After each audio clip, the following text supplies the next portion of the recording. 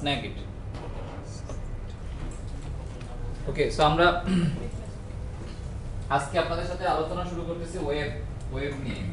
ওকে ওয়েবের content নিয়ে এবং আপনাদের গতদিন আমি আলোচনা করছি হচ্ছে মনে আছে কি নিয়ে? Anonymous link lambda expression Anonymous method, link, lambda, হচ্ছে ডেলিগেট তো আজকে আলোচনা হচ্ছে ওয়েবের শুরু। অর্থাৎ আমরা আজকে যে ওয়েবের সূচনা করতেছি ওকে না না সমস্যা দেখতে কোনো প্রবলেম নাই। আপনার দেখতে প্রবলেম না হবে সবাই দেখতে পাচ্ছেন বোর্ড সো আমি যে কন্টেন্ট নিয়ে এখন আপনাদের সাথে কথা বলব সেটা হচ্ছে হাউ ওয়েব ওয়ার্কস ওয়েব কীভাবে কাজ করে? বা ওয়েব অ্যাপ্লিকেশন কীভাবে কাজ করে? তার আগে আমরা এটা বুঝি ডেস্কটপ অ্যাপ্লিকেশন কীভাবে কাজ করে, যেটা আপনারা অলরেডি কাজ করে আসছেন এতদিন, তাই না? তো ডেস্কটপ অ্যাপ্লিকেশনের ক্ষেত্রে আসলে যে পিকচারটা আমাদের কাছে চলে আসে সেটা হচ্ছে, আমি একটা অ্যাপ্লিকেশন বানালাম রাইট অ্যাপ্লিকেশনটা একটা exe ফাইল তৈরি হলো বা সামথিং লাইক দ্যাট আমি অ্যাপ্লিকেশনটা রান করলাম, সেটা আমার পিসিতেই রান হলো। এবং আমি সেই পিসি থেকেই ওই, আমার কাছে পিসিটা আছে। এবং সেই পিসির মেমোরি বা সবকিছু অপারেটিং সিস্টেম যাই বলেন না কেন, সবকিছু আমি অ্যাক্সেস করতেছি আমার পিসি থেকেই। যার ফলে কি হচ্ছে যে আমি ফাস্টার পারফরম্যান্স পাচ্ছি right okay so this is actually desktop application বা আমরা যখন নিজেদের ডিভাইসে বসে কাজ করছি তো এখানে ওই যে পোর্টেবল কিছু সফটওয়্যার দেখা যায় যে ডাটাবেসটা রয়েছে রিমোট কোনো জায়গায় আমার সফটওয়্যারগুলো আমি ডেস্কটপে ডেস্কটপে দিয়ে দিছি। রাইট ডাটাবেস আপনার কোথায় আছে? এটা হচ্ছে কিন্তু অ্যাপ্লিকেশনের কোনো গোল না। ডাটাবেস কোথায় আছে? এটা হচ্ছে ইনফ্রাস্ট্রাকচারের গোল অর্থাৎ আমার অ্যাপ্লিকেশন আমার পিসিতেই রান হচ্ছে। কোশ্চেন হচ্ছে অ্যাপ্লিকেশনটা কোথায় রান হচ্ছে? অ্যাপ্লিকেশনটা পিসিতেই রান হচ্ছে। এখন অ্যাপ্লিকেশনের সাপোর্টিং কারণে আমার ইনফ্রাস্ট্রাকচারকে কল করা লাগছে। সেটা থাকতে পারে অন্য কোনো পিসিতে অথবা ক্লাউডে অথবা ইন্টারনেটের সাথে অ্যাক্সেস করা লাগছে আমার অফলাইন সফটওয়্যারে সেটা থাকতে পারে বাট আমার ওই সফটওয়্যারটা কোথায় রান হচ্ছে? আমার কাছে রাইট যেখানে আমি এক্সিকিউট করছি সেখানে সেই অপারেটিং সিস্টেমে রান হচ্ছে এটা হচ্ছে ডেস্কটপ অ্যাপ্লিকেশন আর আরেকটা আরেক ধরনের ডেস্কটপ অ্যাপ্লিকেশনের সুবিধা কি? অসুবিধা কোথায়? সুবিধা হচ্ছে যে আমি এখানে বসে আমার ওই পিসিতেই ডেস্কটপ অ্যাপ্লিকেশনটা ইউজ করতে পারছি। মেবি আমার ইন্টারনেট কানেক্টিভিটি লাগছে না। অর্থাৎ আমার কোনো ডিপেন্ডেন্সি লাগছে না। আচ্ছা অসুবিধা কি? যদি এই সেম সফটওয়্যারটা আমি দশটা পিসিতে চালাতে চাই অত বেশি হয়তো আমি টের পাচ্ছি না। নেক্সট নেক্সট করে সেটআপ করে নিলাম। একশোটা পিসিতে চালাতে যাচ্ছে। কোয়াইট আনম্যানেজেবল সে কি সে কি হয়ে যাচ্ছে? এক হাজার পিসিতে আমি সেম সফটওয়্যার চালাতে যাচ্ছি। এবার। তাই না? সেম সফটওয়্যার আমি এক হাজার পিসিতে চালালাম। এখন কোনো মানে ধরেন আপাতত আপনি ফিল করতেছেন সবাই তো সফটওয়্যার দিয়ে দিলাম চালালো এখন সফটওয়্যার কোনো একটা আপডেট আসছে। সব জায়গায় এবার ওই পার্টিকুলার সবগুলো পিসিতে সেম আপডেটটা থাকা লাগবে। কেউ ভুলে গেছে আপডেট দিতে। আমরা কি করি? চেক ফর আপডেট বা ধরেন আমার সিস্টেম থেকেই সে চেক করে নিল যে আপডেট আছে বাট সে কোনো কারণে আপডেট দেয় না তাহলে কি? সে সিমলেস ফিচারটা আর পাচ্ছে না। মানে তার মানে কি? প্রতিটা পিসিতে আমার ওই পার্টিকুলার সফটওয়্যারটা আপডেট দিতে হচ্ছে। এবং নতুন কোনো কেউ ইউজ করতে হলে তাকে ওই সফটওয়্যারটা প্রোভাইড করতে হচ্ছে বা তারপরে সে আপডেট করে নিচ্ছে। তার মানে কি? আমার ইনফ্রাস্ট্রাকচার এখানে একদম রিলেটেড আমার পিসিটাই লাগবে। পিসি না হলে আমি কাজ করতে পারব না এই সফটওয়্যার আচ্ছা তাহলে এবার ওয়েব অ্যাপ্লিকেশনের জায়গাটা আসলে কোথায়? ওয়েব অ্যাপ্লিকেশনের ব্যাপারটা হচ্ছে যে, আমার সফটওয়্যারটা আসলে আমার কাছে নাই। সফটওয়্যারটা রিমোট কোথাও আছে। অ্যাপ্লিকেশনটা কোথাও রিমোটলি এক্সিকিউট হচ্ছে। আমি রিমোটলি কোথাও বসে সেটার এগেইনস্টে রিকোয়েস্ট রেসপন্স নিয়ে কাজ করতেছি। অর্থাৎ সার্ভার সাইড বিষয় নিয়ে কাজ করে। সার্ভার সাইড যে পিসিটার কথা বলছি যেখানে আমার অ্যাপ্লিকেশনটা আছে সেটা আসলে আমার কাছে নাই। সেটা কোথায় আছে? রিমোটলি রিমোট কোথাও। সেটা থাকতে পারে ইউএসএ সেটা থাকতে পারে লন্ডন সেটা থাকবে বাংলাদেশে কোথাও বাট এই পিসিটা আমার কাছে নাই। এবং সেখানে আমার অ্যাপ্লিকেশনটা বসানো আছে। এখন আমি অ্যাজ এ ক্লায়েন্ট এই অ্যাপ্লিকেশনের এগেইনস্টে বিভিন্ন ধরনের রিকোয়েস্ট করছি এবং তার এগেইনস্টে সে আমাকে রেসপন্স করছে। রাইট। এই ধরনের অ্যাপ্লিকেশনকে আসলে বলা হয় ওয়েব অ্যাপ্লিকেশন ওয়েব অ্যাপ্লিকেশনের ক্ষেত্রে ম্যাক্সিমাম ক্ষেত্রে আসলে কি? ইন্টারনেট অ্যাক্সেসিবিলিটিটা চলে আসে। ইন্টারনেট অ্যাক্সেসিবিলিটির দরকার হয়। অনেক সময় লোকাল এরিয়া নেটওয়ার্কেও ওয়েব অ্যাপ্লিকেশন কোনো একটা পিসিতে আমি সেম মেকানিজম অর্থাৎ রিমোট একটা পিসিতে অ্যাপ্লিকেশন হোস্ট করলাম, অন্যান্য জায়গা থেকে আমি সেই অ্যাপ্লিকেশনের এগেনস্টে রিকোয়েস্ট রেসপন্স করছি। ওয়েব অ্যাপ্লিকেশনের সুবিধা কোথায়? কি মনে হয়? বলেন। এটা এক জায়গায় একবার আপডেট করলে মানে সেটা যে কোনো ক্লায়েন্ট করতে পারতেছে। Update মানে। আমি সেন্ট্রালাইজ ম্যানেজ করতে পারতেছি অ্যাপ্লিকেশনটাকে হ্যাঁ। আমার কতগুলা ইউজার আছে বা যারাই থাকুক না কেন সবাই কি সেন্ট্রালাইজ একটা অ্যাপ্লিকেশনের এগেনস্টেই অপারেটেড হচ্ছে। আমার ম্যানেজেবিলিটি যে ঝামেলাটা সেটা থাকছে না। আমি যে কোনো সময় আপডেট দিলে আপডেটটা ইমিডিয়েট আপডেট হয়ে যাচ্ছে। আর একটা জিনিস হলো যে যে যেমন ডেস্কটপটা চলতে ডেস্কটপের একটা সফটওয়্যার চলতে হলে ডেস্কটপের রিলেটেড ওটা চলার জন্য যত হোল মানে প্রত্যেকটা মডিউল কাজ করার জন্য যত ডাটা লাগে তত ডাটা সেটআপের সময় দেওয়া লাগে। আর যদি আমি অনলাইনে কাজ করি তাহলে ওই পেজে যেটুকু ডাটাটা লাগতেছে সেটা নিয়ে কাজ করা যাচ্ছে। ওটা তো আসলে আপনি যেটা যে লাগবে। আমি যদি হাই লেভেল থেকে বলি যে ইউজার পার্সপেক্টিভ থেকে আসলে বেনিফিটটা কি পাচ্ছে? আমি একটা ওয়েব অ্যাপ্লিকেশনে কি বেনিফিট পাই? আর আমি আসলে একটা ডেস্কটপ অ্যাপ্লিকেশনে কি বেনিফিট পাই? ওয়েব টেপে মানে যে install জায়গায় বসে সে এটা ইউজ করতে পারতেছে। রাইট মানে আমি আমার কোনো সেটআপ দরকার হচ্ছে না। জি। রাইট আমার কোনো প্রি কনফিগারেশন দরকার হচ্ছে অর্থাৎ আমি নেক্সট নেক্সট নেক্সট করে কিছু করতে হবে আগে। তারপরে অ্যাপ্লিকেশনটা আমি রান করব এরকম কিছু আমার দরকার হচ্ছে না। অ্যাপ্লিকেশন অলরেডি রানিং আমি অ্যাজ এ ক্লায়েন্ট তার তার- সাথে অ্যাক্সেস পাইলে আমি সেই অ্যাপ্লিকেশনটা ইউজ করতে পারছি। That's actually web application right এবং এই কারণে আসলে ওয়েব অ্যাপ্লিকেশন আস্তে আস্তে কি করা শুরু করল? বুমিং করা শুরু করল। একটা সময় কি ছিল? সব ডেস্কটপ অ্যাপ্লিকেশন সো ডেস্কটপ অ্যাপ্লিকেশনের আরও কিছু ঝামেলা আছে সেই ঝামেলাগুলো কি? যেমন ক্র্যাকিং হ্যাকিং এই জিনিসগুলো বেশি হয়। অর্থাৎ যারা সফটওয়্যার সার্ভিস প্রোভাইডার তাদের আসলে ম্যানেজমেন্টের জায়গাটা আসলে বেশি ঝামেলাদায়ক। আপনি আজকে একটা সফটওয়্যার ছেড়ে বসে মানে ছেড়ে দিলেন এখন ওই যে ইউজারটা যে আসলে আপনার ইউজার নাকি ভ্যালিড ইউজার সেটা আপনার আসলে চেক করতে গিয়ে একটা জাস্ট ইনক্রিপশন পলিসিতে থাকা লাগে। আর যারা অন্য যারা আছে ক্র্যাকার তারা কি করছে? ইনক্রিপশন পলিসি ভেঙে ভেঙে একটা কোড বের করে বসে আছে। আপনি কিন্তু আর ওই সফটওয়্যার এগেনস্টে কোনো রেভিনিউ মডেল জেনারেট করতে পারছেন না। বাট যদি আপনার একটা ওয়েব অ্যাপ্লিকেশন থাকে সার্ভার আপনার তার মানে কি? এটা আসলে আপনি আপনার সিকিউরিটি একটা জায়গায় দিচ্ছেন। দশ জায়গায় আপনার সিকিউরিটি ম্যানেজ করা লাগছে না। যার ফলে আপনি আপনার ইউজারদেরকে সাবস্ক্রিপশন মডেলে সার্ভিস প্রোভাইড করতে পারছেন। রাইট ভাইয়া যেটা করা হয় নর্মালি যেমন আমরা ভিজুয়াল স্টুডিও ইউজ করি।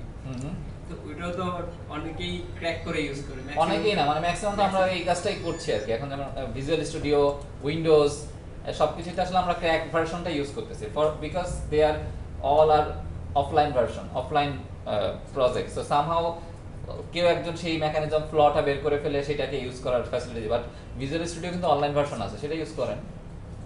না ভাইয়া আমার কলেজে কি দিন আছে? ইউজ করে কি না? হ্যাঁ? না তিরিশ দিন আপনি ট্রায়াল পিরিয়ডে আছে বাট আপনি কি ওইটাকে ক্র্যাক করে ইউজ করতে পারবেন? না। না ওইটা না।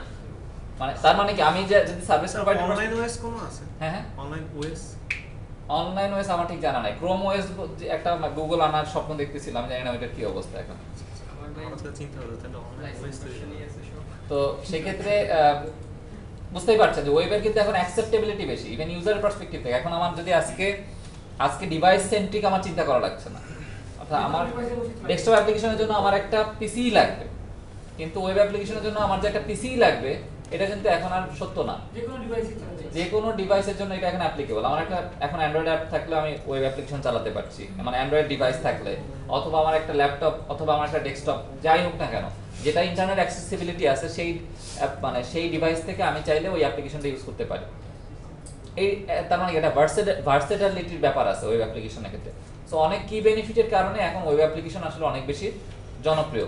বাট আস্তে আস্তে ওয়েব অ্যাপ্লিকেশনের পাশাপাশি আর একটা জিনিসের ডিমান্ড তৈরি হয়েছে যে জিনিসটা আসলে এখন আর ইগনোর করার অবস্থায় নাই সেটা হচ্ছে মোবাইল অ্যাপ্লিকেশন অর্থাৎ আপনার যদি একটা নিজের ওয়েব অ্যাপ্লিকেশন থাকেও তার সাথে একটা মোবাইল তার তার সাথে একটা মোবাইল অ্যাপ এখন মানুষজন চায়। এবং একই অ্যাপ্লিকেশন প্ল্যাটফর্মের এগেনস্টে যাতে সেটা অপারেট করা যায়।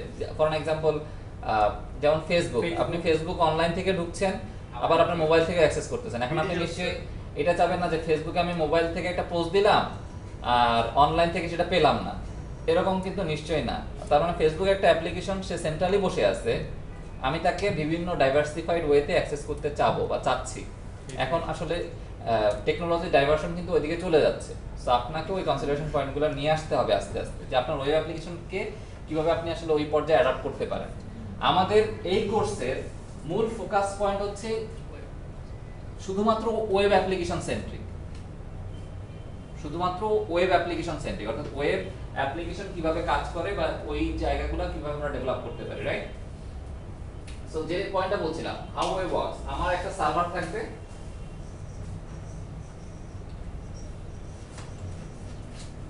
এবং আমার একটা ক্লায়েন্ট থাকবে রাইট সো সার্ভার বলতে আসলে আমরা কি বুঝাই? ওয়েব অ্যাপ্লিকেশনের ক্ষেত্রে সার্ভার মানে আসলে একটা পিসি যেটা আসলে রিমোট এক নরমাল আপনার যে পিসি ধরেন এরকম একটা পিসি বাট তার হয়তো আরও মোর পাওয়ারফুল একটা পিসি যেখানে আসলে মোর রিকোয়েস্ট দেওয়া যায় পাওয়ার মানে যার আসলে র্যাম বেশি অথবা ব্যান্ডউইথ বেশি যাতে মোর ইউজার সেখানে অ্যাক্সেস করতে পারে রাইট সো নরমাল একটা পিসিতে যদি আপনি ওয়েব অ্যাপ্লিকেশন রাখেন সেটা যদি আপনি রিমোটলি অ্যাক্সেস করে দেওয়ার ব্যবস্থা করেন that could be also server client বলতে আসলে কি বোঝায় একটা ওয়েব অ্যাপ্লিকেশনে ক্লায়েন্ট বলতে এখানে ব্রাউজার ব্রাউজার আর ইউজার ইউজার ব্রাউজার ক্লায়েন্ট বলতে কাকে বুঝব আমরা? ব্রাউজার কে ইউজার ইউজার বলতে কি আপনি? As a as a as a ধরেন আপনি ফেসবুক ইউজ করতেছেন। এখন ফেসবুক ডট কম আপনি ঢুকছেন আপনার পিসি থেকে। সেক্ষেত্রে ক্লায়েন্ট কে? ক্লায়েন্ট হচ্ছে আমার browser client browser browser HTTP request করবে সার্ভার ওটা একটা এটা তো আমরা প্রসেস জানি। আমার প্রশ্ন হচ্ছে সার্ভার এবং ক্লায়েন্টের ভিতরে who is the client browser browser or user অবশ্যই ইউজার ব্রাউজার হচ্ছে জাস্ট ওয়েব ব্রাউজার Browser ব্যবহার করে- ব্রাউজারের কোনো ভ্যালু নাই। সার্ভিসটা নেবে। ওকে ব্রাউজারের পক্ষে পাচ্ছি তো। ব্রাউজারের পক্ষে কারা কারা আছেন? এটা হাত তোলেন। যে আমার ক্লায়েন্ট হলো ব্রাউজার ওয়েব অ্যাপ্লিকেশনের ক্ষেত্রে ক্লায়েন্ট হচ্ছে ব্রাউজার এই পক্ষে কারা কারা আছেন এটা হাত তোলেন। ওকে আর তাহলে মোস্ট অফ দ্য পিপল কি ইউজার তাহলে ইউজারের পক্ষে কারা কারা আছেন এটা হাত তোলেন। দুইটাই ক্লায়েন্ট এটাকে ইউজারই হাত তোলেন নাই কারা কারা তারা এবার হাত তোলেন। Okay. আপনাদের কি ভূমিকা কি? মানে আপনারা কি চান আমরা চাই শতকরা যারা ওনারা হলে সুবিধাবাদী। যেদিকে হবে ওই দিক চলে যাবে। আচ্ছা। মূলত অ্যানসার হচ্ছে একটা ওয়েব অ্যাপ্লিকেশনে ক্লায়েন্ট হচ্ছে ব্রাউজার রাইট ওয়েব অ্যাপ্লিকেশনে যে রিকোয়েস্ট মানে আমরা ক্লায়েন্ট বলতে আসলে কি বোঝাই যে কোনো সিস্টেমে ক্লায়েন্ট মানে হচ্ছে ওই সিস্টেমে কে রিকোয়েস্ট পাঠাচ্ছে? তাহলে রিকোয়েস্ট কে পাঠাচ্ছে? আপনি পাঠাচ্ছেন? সার্ভারে কি আপনি রিকোয়েস্ট পাঠান? না। আপনি হচ্ছেন ব্রাউজারের ক্লায়েন্ট ইউজার পাঠাচ্ছে ব্রাউজারের ক্লায়েন্ট আমি ব্রাউজারের অপারেটর ইউজার হচ্ছে ব্রাউজারের ক্লায়েন্ট মানে ব্রাউজারের ক্লায়েন্ট Operator. ইউজার রাইট আর সার্ভারের ক্লায়েন্ট কে? ব্রাউজার তার মানে আমার ওয়েব অ্যাপ্লিকেশনে মূলত আমি যে কোনো ধরনের রিকোয়েস্ট অথবা রেসপন্স যাই বলেন না কেন সেটা আসলে কোনো না কোনো ব্রাউজার থেকেই তো অপারেট হচ্ছে। একটা রিকোয়েস্ট যাচ্ছে সার্ভার সেই রিকোয়েস্টটাকে প্রসেস করে এবং দেন সার্ভার সেই রিকোয়েস্টটাকে রেসপন্স করে। This is web application clear okay so এই যে সার্ভার তো বসে আছে কোথায়? রিমোটলি রিমোট এরিয়াতে ক্লায়েন্ট বসে আছে কোথায়? রিমোট এরিয়াতে এখন ক্লায়েন্ট তো যে কেউ হতে পারে একটা সার্ভার। রাইট যে কেউ হতে পারে। অর্থাৎ ডাইভার্সিফাইড জায়গা থেকে একটা রিকোয়েস্ট আসছে। তার মানে এই যে রিকোয়েস্টটা ক্লায়েন্ট সার্ভারকে করছে, সার্ভার রিকোয়েস্টটা যে প্রসেস করবে, তার জন্য কি রিকোয়েস্টটা তাকে বুঝতে হবে না? রিকোয়েস্ট তো তাকে বুঝতে হবে। আপনি আমাকে বললেন যে সাপোজ আমাকে এই রিমোটটা দেন কথার কথা। তাহলে আপনি যে আমাকে বললেন যে আপনি রিমোটটা দেন, এটা যদি আপনি চাইনিজ ভাষায় এখন বলেন, আমি কি আপনার কথা বুঝব? আমি যদি আপনাকে জাপানিজ ভাষায় রেসপন্স করি, আমার, আমি বুঝি না আপনি কি বলছেন। আপনি কি আমার কথা বুঝবেন? তার মানে কি, যদি দুইজন দুইটা জায়গা থেকে বা দুইটা ল্যাঙ্গুয়েজে কমিউনিকেট করে এবং একজন যদি আরেকজনের কথা না বোঝে তাহলে that cannot be negotiated or handshaken তাই না। দুইজনকেই বুঝতে হবে আসলে কি বলা হচ্ছে। তো সার্ভারকে বুঝতে হয় কি রিকোয়েস্টটা কি করা হয়েছে। রাইট এবং রেসপন্স পাঠাইলে ব্রাউজারকে বুঝতে হবে রেসপন্স কি পাঠানো হয়েছে। না হলে তো আসলে কমিউনিকেশনটা সম্ভব না। তার- তার মানে হচ্ছে ধরেন এই ধরনের একটা সিস্টেমের ক্ষেত্রে কমিউনিকেশনের একটা নির্দিষ্ট ফরম্যাট থাকা লাগে। অর প্রোটোকল থাকা লাগে যেটাই বলেন না এই প্রোটোকলটাই হচ্ছে আসলে এইচটিটিপি ওয়েব অ্যাপ্লিকেশনের ক্ষেত্রে HTTP HTTP হচ্ছে protocol hyper text transfer protocol hyper text transfer protocol এটা ডিফাইন করে একটা ব্রাউজার একটা ক্লায়েন্ট যদি সার্ভারকে রিকোয়েস্ট পাঠায় তাহলে তাকে কীভাবে রিকোয়েস্টটা পাঠানো উচিত?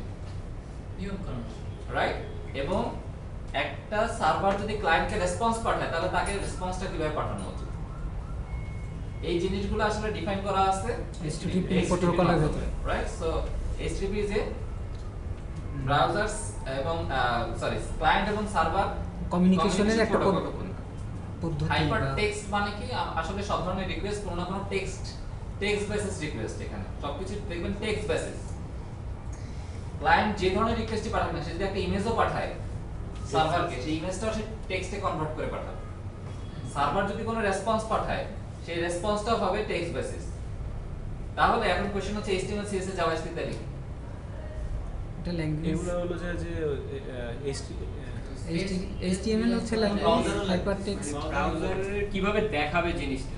রাইট ব্রাউজার কীভাবে দেখাবে সেইটা Presentation আর কি। প্রেজেন্টেশন হয় এবং সার্ভার আসলে সেটাকে রেসপন্স করে। সার্ভার আসলে রেসপন্স করে কীভাবে?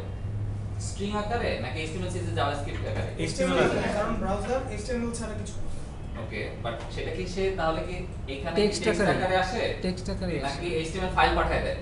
না টেক্সট আকারে তার মানে আমি যখন কোনো একটা রিকোয়েস্ট করছি সেটা অবশ্যই কি টেক্সট বেসিস রিকোয়েস্ট আমি যেটা রেসপন্স করছি আমি সেটা টেক্সট বানাই দিচ্ছি। আর টেক্সটটা অনেক বড় হতে পারে টেক্সটটা ছোট হতে পারে।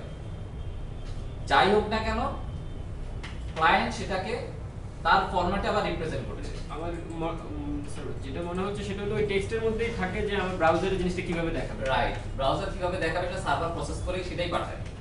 অর্থাৎ সার্ভার আপনি রিকোয়েস্ট পাঠাইছেন। আমাকে একটা ফর্ম দেওয়া হোক। সার্ভার বসে বসে কি করে? আগে রিকোয়েস্টটা বুঝে তারপর ফর্মটা বানায়। বানায় সেই ফর্ম যত যা খুব- মানে বানানো হয়েছে এস্টিমেল বা কার জন্য সে বানাচ্ছে সে তো সে জানে। সেই সেই ফর্মটা পাঠায় দেয়। পাঠায় দিলে তখন যে ক্লায়েন্ট সে তখন বুঝে না এটা আমাকে কীভাবে সাজাতে হবে। তখন সে তার মতো করে সাজায় ফেলে। তার মানে ক্লায়েন্টের কাছে আসলে কিছু নাই। যা কিছু আসে সবকিছু আসে কার কাছ থেকে? সার্ভারের কাছ থেকে আসে। এটুকু কি আমরা ক্লিয়ার সবাই? সাধারণ কাস্টমার ক্লায়েন্ট করতেছে। হ্যাঁ হ্যাঁ। করতেছে। সাজানো বলতে কোনটা? মানে ফরম্যাটে দেখানো প্রেজেন্টেশন রাইট প্রেজেন্টেশন ক্লায়েন্ট করতেছে। প্রেজেন্টেশন ক্লায়েন্টের কাছে তো ওই ফরম্যাট আছেই। অর্থাৎ ব্রাউজার ব্রাউজার কি বলছে? ব্রাউজার বলতে আসলে কেন আমাদের এটা ব্রাউজার দরকার? ব্রাউজার আমাদের কেন দরকার? রিপ্রেজেন্টেশন বিকজ ব্রাউজার বোঝে HTML CSS জাভাস্ক্রিপ্ট এবং ব্রাউজারের একটা কমন কিন্তু ফরমেশন আছে। একটা ব্রাউজার আপনি যা, আপনি আজকে ইচ্ছে হলে একটা ব্রাউজার বানাই ফেললাম। নতুন একটা ল্যাঙ্গুয়েজ ধরেন HTML না, আপনার নাম দিয়ে একটা আপনি ল্যাঙ্গুয়েজ বানাইছেন। এখন থেকে আমার ব্রাউজারে এই- এইভাবে দেখায় দেখায়। তো এখন আপনি চাইলে কিন্তু সেটা বানাতে পারেন, এটা কোনো সমস্যা না। আপনি আপনার মতো করে ফরম্যাটিং ট্যাগ সিস্টেম বানাই নিলেন। এটা শুধুমাত্র কখন তাহলে অ্যাপ্লিকেবল হবে? আপনার নিজস্ব সার্ভার থাকতে হবে। আপনার নিজস্ব রিকোয়েস্ট প্রোটোকল বানাইতে হবে। এরকম যে পৃথিবীতে নাই ব্যাপারটা কিন্তু এরকম না। সিক্রেট অনেক প্রোটোকল আছে যেটা আমরা হয়তো জানি না। ওইভাবে যদি হয় যে আমাকে আমাকে যে ফরম্যাটটা দেওয়া হলো ওইটাকে আমি কনভার্ট করার কোনো একটা সিস্টেম তৈরি করলাম সিস্টেম তৈরি করে আমার ব্রাউজারে শো করলাম। রাইট মানে অনেকভাবেই পসিবল আমি এটাই বললাম যে দেখেন বাট আমরা যদি স্ট্যান্ডার্ড সিস্টেমের কথা বলি স্ট্যান্ডার্ড একটা ব্রাউজার যদি আপনি বলতে চান স্ট্যান্ডার্ড ব্রাউজার মানে কি? ওয়াইডলি অ্যাকসেপ্টেড ব্রাউজার সবাই যেটাকে অ্যাকসেপ্ট করে নিচ্ছে। সেই ব্রাউজারের ক্ষেত্রে অবশ্যই তার কিছু ক্যাপাবিলিটি থাকতে হবে। ক্যাপাবিলিটি কি? সে HTML CSS জাভাস্ক্রিপ্ট রেন্ডার করতে পারে যেমন ইন্টারনেট এক্সপ্লোরার এই যে আপনি হাসাহাসি করলেন। রাইট ইন্টারনেট এক্সপ্লোরার কি ওয়াইডলি অ্যাকসেপ্টেড ব্রাউজার না। কেন? বিকজ অনেক ওয়েবসাইটের ক্ষেত্রে সে ঠিকমতো রেন্ডার করতে পারে না। রাইট ইন্টারনেট এক্সপ্লোরার জন্য আলাদা কোড লিখে পাঠাইতে হয়। এটা হচ্ছে ইন্টারনেট এক্সপ্লোরার জন্য স্পেসিফিক যেমন এই যে অনেকের ক্ষেত্রে দেখবেন যে cross browser cross browser CSS লিখতে পারে এরকম এক্সপার্ট দরকার। কেন?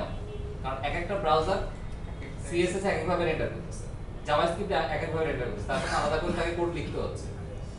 সো ক্রোম ওয়াইডলি অ্যাকসেপ্টেড কারণ সে একটু ফ্লেক্সিবল মোডে থাকে। ফায়ারফক্স ওয়াইডলি অ্যাকসেপ্টেড কারণ সে একটু ফ্লেক্সিবল মোডে থাকে।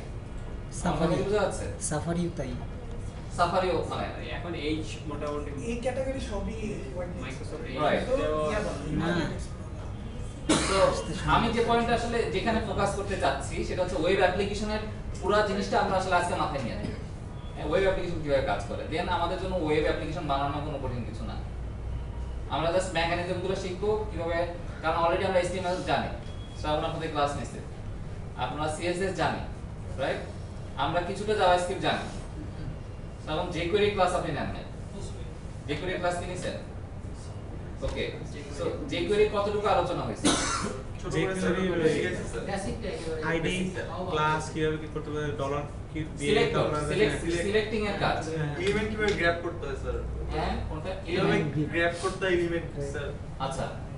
ওকে এরপরে যে করে তাহলে আপনার আলোচনা চলে আসবে হচ্ছে মানে আমরা যে পরবর্তীতে হয়তো যে করে নিয়ে আরও কিছু আলোচনা আসবে বাট সেটা আমরা ক্লাসের ভিতরে চলে আসবে যে কোথায় আসলে জিনিসগুলো ম্যাপ করব রাইট সো যেটা বলছিলাম এই যে রিকোয়েস্ট এবং রেসপন্স হচ্ছে এখানে একটা ব্যাপার ঘটে আসলে যেটা আমাদের মাথায় রাখা উচিত যে সাপোজ আমি ক্লায়েন্ট থেকে একটা রিকোয়েস্ট করলাম সার্ভার সেই রিকোয়েস্টটা কি করছে? প্রসেস করছে এবং রিকোয়েস্টটা কি করছে? রেসপন্স করে দিচ্ছে ব্রাউজার রিকোয়েস্টটা পেয়ে গেল। তারপরে সার্ভার ভুলে যায় যে এরকম কোনো রিকোয়েস্ট তাকে করা হয়েছে এবং এরকম কোনো রেসপন্স সে করছে। এই কারণে HTTP কে বলা হয় স্টেটলেস প্রোটোকল এটা স্টেট ধরে রাখে না। আপনি একটা রিকোয়েস্ট করছেন যতক্ষণ সার্ভার রিকোয়েস্টটা প্রসেস করতেছে তখন ততক্ষণ সে আসলে ওইটা নিয়ে ইনভলভ থাকবে। রেসপন্স করা হয়ে গেছে এরপরে আর তার কোনো ইনভলভমেন্ট নাই। আমার এই কথাটা কি সবাই বুঝতে পারছেন? হিস্ট্রিটা কিন্তু browser এর আচ্ছা আচ্ছা আচ্ছা। নট সার্ভারের গোল হ্যাঁ হ্যাঁ। এখন কোশ্চেন হচ্ছে তাহলে এরকম সিস্টেম কেন বানানো হলো এরকম সিস্টেম আমরা ডে টু ডে এই ধরনের সিস্টেমে আমরা অভ্যস্ত। ফর এক্সাম্পল আপনি যে কোনো ধরনের সার্ভিস নিতে চান। যে লাইভ যে মেসেজ মেসেজ না বলেন। লাইভ রিয়েল লাইফ কিন্তু রিয়েল টাইম কিন্তু অন্য জিনিস বাট আমরা আস্তে আস্তে আসি। সো এখন স্টেটলেস যে প্রোটোকল আমরা যেটা বলছি বা স্টেটলেস যে সিস্টেম এটার মানে আসলে কি? আপনি বর্তমানে যে কোনো ধরনের সার্ভিস নিতে চান যে কোনো সার্ভারের কাছে যেমন আপনি ব্যাংকে টাকা দিতে যাবেন ওই পাশে যে বসে আছে সে কিন্তু একটা সার্ভার আপনি কোনো একটা সার্ভিস নিতে যাবেন যে কোনো জায়গায়। টিকিট বুথে টিকিট কিনতে গেছেন এটাও কিন্তু একটা সার্ভিস সে একটা সার্ভার সাপোজ আপনি বসুন্ধরা সিনিপ্লেক্সে গেছেন কোনো একটা এখন কি শো চলতেছে আমি জানি না। কোনো একটা সিনেমার হয়তো আপনি টিকিট কিনতে গেছেন। Then infinity one okay infinity war যেটা নিয়ে আসলে যুদ্ধ চলতেছে রাইট সো সেখানে আপনি টিকিট কিনতে গেছেন দেন আপনি ওই পাশে যে মানুষটা বসে আছে টিকিট যে প্রোভাইড করছে আপনি জানেন যে টিকিটের দাম দুইশো টাকা। আপনি তাকে পাঁচশো টাকা নোট দিয়ে দিচ্ছেন। তাহলে সে কি করবে? আপনাকে প্রসেস করে প্রসেস করে সে টিকিট তিনশো সহ টাকা আপনাকে ব্যাক করে দিবে এবং আপনাকে টিকিট দিবে। তারপর আপনি কি করবেন? বসে থাকবেন ওখানে? নাকি চলে আসবেন টিকিট নিয়ে? চলে আসবেন। সে- সার্ভারের ওই পোর্শনে যে বসে আছে সে কি আপনার কথা বসে বসে ভাবা শুরু করবে? এই লোকটা আসছিল টিকিট দিয়ে গেছে। দুইশো টাকা দুইশো টাকা ছিল। তিনশো টাকা আমি ফেরত দিছি। I I missing him right এরকম কোনো কিছু কি সে করবে? রিকভারি সে কি আপনার ধরে রাখবে কি আউট হয়ে যাচ্ছে। আবার সে এরকম যে ডিসিশন চেঞ্জ করে আবার টিকিট ফেরত দিতে আসবে কিনা? দ্যাটস অ্যানাদার রিকোয়েস্ট হ্যাঁ দ্যাটস বাট ও তো অ্যানাদার চিন্তা রিকোয়েস্ট করছে না স্যার ঠিক করছে না? নতুন অ্যাকশন হচ্ছে পরে তিনশো টাকা না দিয়ে দুশো টাকা দিছে। পরে আমি বুঝতে পারলাম যে আমাকে দুইশো দিছে একশো কম দিছে। পরে আমি আবার গেলাম যে আপনি তো আমাকে এটা তো মিসিং হবে না সময় কিন্তু তার মনে নাই। স্যার টিকিট দেওয়ার সময় যদি দুইটা মাইন্ড দেয় তাইলে মনে রাখব।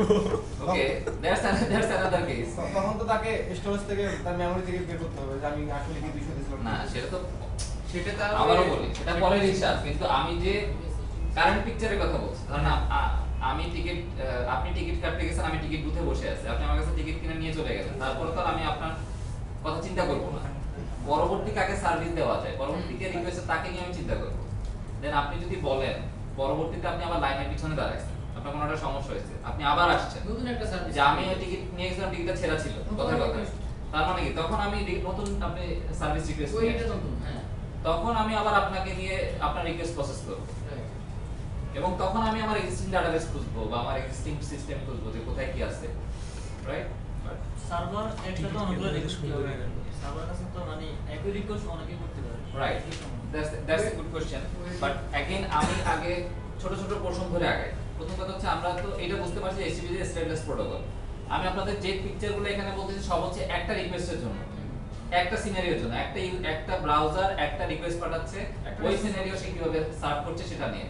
যখন আপনি এবার আপনার কোশ্চেন যদি হয় এরকম যে আমার সিস্টেমে তো এক হাজার ইউজার নক করছে তাহলে সেক্ষেত্রে সে কীভাবে প্রসেস করবে? এই রিকোয়েস্টের ভিতর কি আরেকটা রিকোয়েস্ট তাহলে ঢুকে যাচ্ছে না? না ঢুকছে না। ইটস এ প্যারালাল প্রসেসিং জি। অর্থাৎ এইটার সাথেই হচ্ছে আমাদের রিয়েল লাইফের পার্থক্য। অর্থাৎ সার্ভারের ভিতরে যে অ্যাপটা আমরা বলছি এই অ্যাপটা যখন আপনি সার্ভারে রেখে দিচ্ছেন যখন কেউ একটা রিকোয়েস্ট করছে এরকম একটা অ্যাপ ইনস্ট্যান্স ওই সময় তৈরি করে। ওই রিকোয়েস্টের জন্য সে একটা অ্যাপ অ্যাপই বানায় ফেলে আলাদা। এবং সেই অ্যাপটার মূল কাজই হচ্ছে ওই রিকোয়েস্টটাকে হ্যান্ডেল করা। এর মাঝে যদি আরেকজন কেউ রিকোয়েস্ট করে সে কিন্তু ওই সেম অ্যাপের আরেকটা রেপ্লিকেট ইনস্ট্যান্স বানায়। তাহলে সার্ভার জ্যাম যেটা এটা কেন? ওই দিক দিয়ে user- denial of access denial of service যেটা। ডিনাইল অফ সার্ভিস হচ্ছে আপনার সার্ভারের ক্যাপাসিটি থেকে বেশি রিকোয়েস্ট আপনি করতেছেন। অর্থাৎ আমার সার্ভারের ক্যাপাসিটি ধরেন 50 এরকম 50000 ইনস্ট্যান্স তৈরি করা। আপনি কি করলেন? তার মানে কি 50000 রিকোয়েস্ট হ্যান্ডেল করা এট এ মোমেন্ট আপনি কি করলেন? একসাথে 50 লাখ রিকোয়েস্ট দিয়ে দিচ্ছেন। তখন সার্ভার কি করবে? সার্ভার গেট বন্ধ করে দিবে। এত ভিড় পরে আসেন আগে নিজেরা ঠান্ডা হয়। ব্যাপারটা এরকম না। অর্থাৎ বাজারের প্রতিষ্ঠান তো খেপে যায়। গেট বন্ধ করে দিচ্ছে this is called denial of service আমি আর সার্ভিস দিচ্ছি না। Service closed